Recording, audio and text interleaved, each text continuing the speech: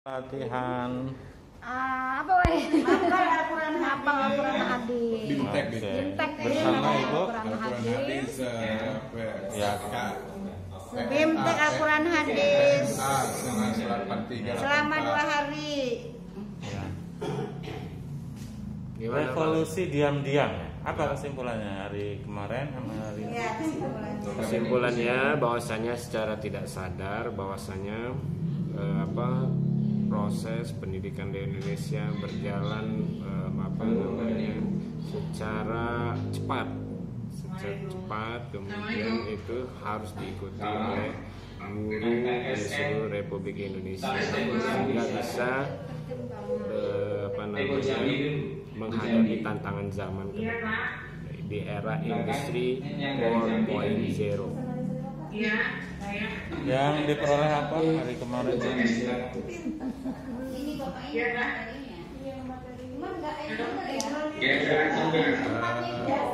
nyalain oh gitu. udah apa bu yang ditangkap bu dari kegiatan ini bu? Kegiatan ini sangat baik sekali karena untuk memberikan motivasi kepada kita bagi seorang guru untuk membenahi eh, keadaan-keadaan pendidikan yang belum baik agar menjadi lebih baik lagi. Walaupun suasana Covid tetap pembelajaran dilaksanakan dan seorang guru harus dapat mengkoordi- mengkoordinir apa-apa yang kendala di lapangan. Jadi sulit untuk anak-anak pakai video. Nah kadang-kadang kalau dia mau pakai video, gimana apa yang sudah ditangkap membaca di balik HP yang kemarin sama hari ini Jadi saya Alhamdulillah banyak ya Pak ya. Nah, jelas sih memotivasi guru untuk untuk menjadi lebih baik lagi. Terutama tantangan buat guru Al-Quran hadis itu kan materinya berbeda dari tahun-tahun sebelumnya. Dan ini ya, membuka kami untuk lebih baik lagi, harus siap untuk menghadapi kurikulum baru ini. Gitu. Seperti itulah kurang lebih. saya yang ditangkap apa dari ini kegiatan online ini. Baik, alhamdulillah banyak sekali manfaat yang dapat dari eh, apa virtual ini karena memang eh, menguasai banyak sekali eh, ilmu pengetahuan yang belum eh, yang kita tidak tahu eh, tua? seperti perubahan kurikulum 18 untuk mere- merealisasikan hafalan yang maaf, tetap bisa berjalan. 183 2019 Sementara, ini eh, eh, eh, terutama kurikulum suasana daring ini, hadis eh, itu tidak menyulitkan paket yang kemarin Hmm. itu ternyata masih ada yang dipakai untuk di sekolah-sekolah lain. Dan ternyata baru tahu kalau sekarang ini rupanya sudah berubah. Nah ini ini pengetahuan luar biasa. Yang eh, diperlu diketahui oleh guru-guru khususnya guru Al-Quran hadis. ya.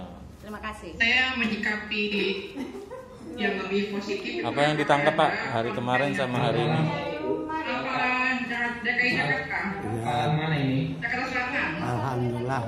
Ya mendapat mendapat DKI dengan Ibu Hanifah. Banyak pengalaman dari beberapa ya, menyikapi tutor apa yang disampaikan oleh di mana di antaranya dalam masa yang COVID ini banyak sekolah yang seolah-olah ditutup. hadis yang sebetulnya belum ditutup tapi belajar jarak jauh yang kita sebut daring atau belajar dari masing-masing.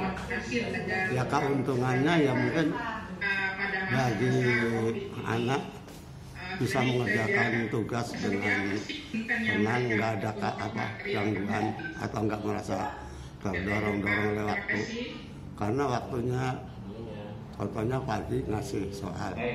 Nah suruh nyetornya minggu depan. Jadi mereka ada kesempatan untuk berpikir luas. Mungkin itu di antaranya.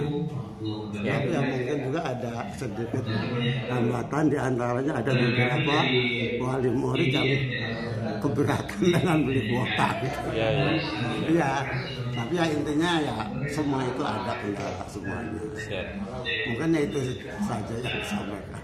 Itu banyak tapi nanti gimana ya? Semuanya segitu aja. siap